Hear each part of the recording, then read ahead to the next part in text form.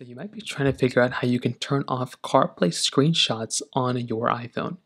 Meaning, how can you go through and turn off screenshots that are coming on inside of your iPhone when you're taking CarPlay screenshots? Now, doing this is actually fairly basic and it really doesn't take too much time at all. So, to get started, what you're going to want to do is make your way over to your iPhone settings. Now, you have to be on iOS 26 or newer to do this. So, keep that in mind. If you are on iOS 18 or below, you will not be able to do this. So make sure you're able to go through and basically go through and, you know, make sure you're on iOS 26. Now, what you're wanting to do here is you want to basically scroll down in your panel right here, and you want to click on the general option right here. And then what you want to do is you basically want to go ahead and scroll down.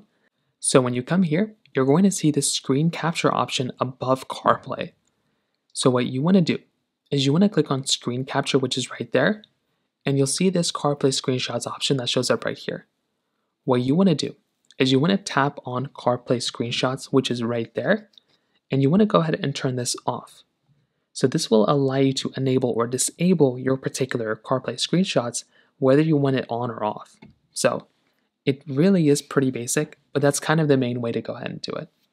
If you have any other thoughts or questions, please let me know in the comment section below. Hit the like button, that'll so much, but definitely hit that subscribe button. More importantly than everything else, I love every single one of you guys. Hopefully I'll catch you guys in the next video. Peace out, till.